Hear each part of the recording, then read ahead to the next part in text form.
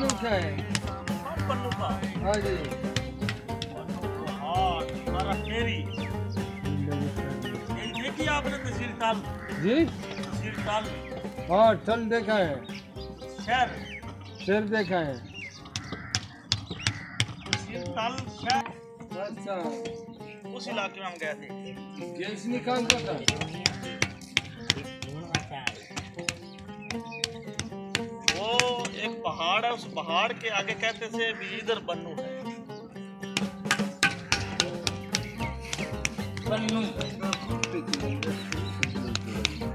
आपके इलाके में बनता है मटका आपके इलाके में बनता मटका हाँ, बनता है लेकिन हमारे नजदीक नहीं बनता किधर बनता है इधर बन में कभी कभी जाए कि उधर बनता है